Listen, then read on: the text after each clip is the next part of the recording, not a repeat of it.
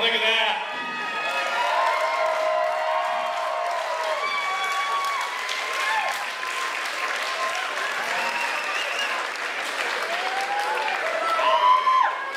And your winner, by unanimous decision,